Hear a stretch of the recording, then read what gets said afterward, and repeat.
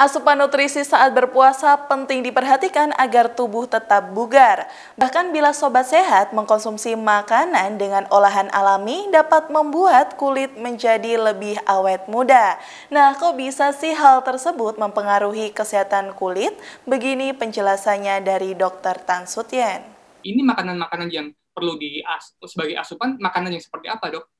Makanannya seperti apa? Oke, makanannya seperti apa sebetulnya makanan orang Indonesia tuh udah bagus banget ya makanya kenapa nenek moyang kita tuh umurnya cukup panjang.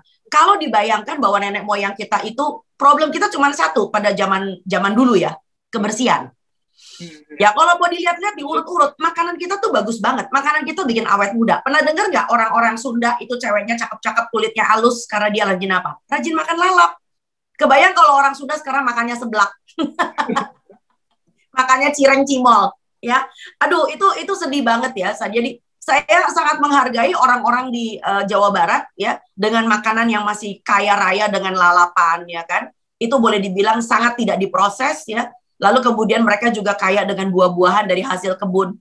Aku rasa itu itu akan sangat sangat bisa menjelaskan kenapa mereka punya kulit bagus tidak berkeriput dan mereka tetap awet muda. Begitu pula zaman kita uh, saya nggak tahu kita sama-sama orang Jawa nenek moyang kita dulu sering yang disebut dengan ngerokot mas. Pernah dengar kata ngerokot? Nah dan jenengan itu udah terlalu hibrid.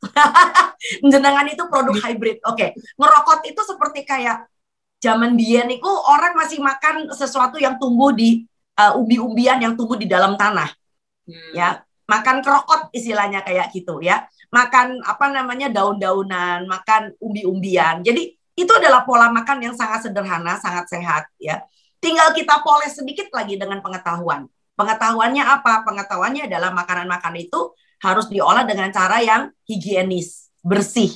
Nah, sehingga kalau kita tidak tertular dengan penyakit menular, ya apabila pola makan kita udah sehat, insya Allah umur kita panjang banget loh mas sebetulnya. Demikian informasi kesehatan Healthy Fit Ramadan yang saya sampaikan dan sampai jumpa di kanal Tribun Head selanjutnya. Terima kasih sudah nonton. Jangan lupa like, subscribe, dan share ya.